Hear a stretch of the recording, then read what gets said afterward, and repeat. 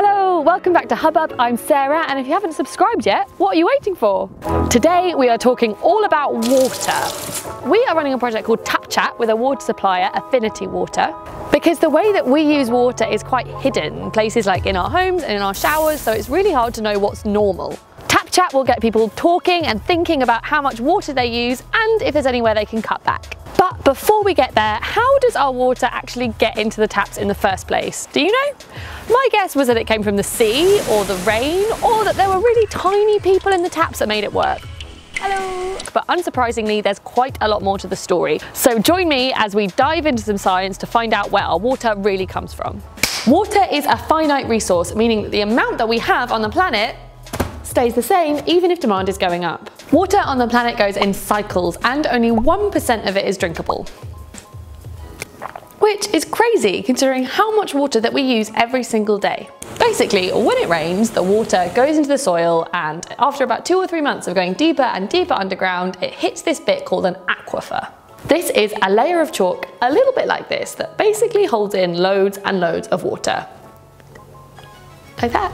Unless, of course, it's really warm, in which case it probably evaporates before it gets there, or it's used up by plants. Another difficulty is that if rainfall is really heavy, then it runs straight off into rivers and drainage, meaning it never hits the aquifers in the first place. This is why, even if there's been a lot of really short, intense rainfalls over a warm period, we still need to talk about water. And as the climate becomes more erratic, it's going to get more difficult to refill our taps.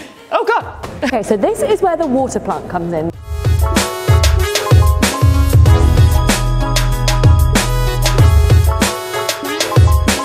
They pump the water up through a borehole from the aquifer and then put it through loads of different processes to make it drinkable, like putting it through activated carbon made from coconuts.